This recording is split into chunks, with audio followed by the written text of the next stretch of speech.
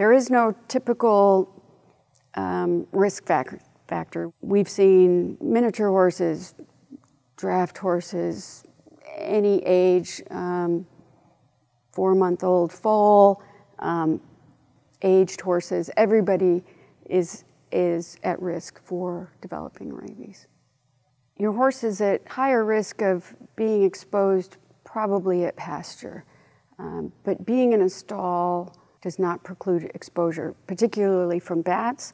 Um, we certainly know that, that skunks and raccoons and like to be in barns when they can, and you may not see them during the day, um, but they could certainly be um, in your barn at night. It's a human health risk. The consequences to their individual horse are, are obvious. Um, the consequences for, um, for their children, for others that may be at their barn, for their veterinarian, uh, for the people who may care for their horse once it becomes ill. Um, the consequences of interacting with a horse that has rabies are, are, are significant.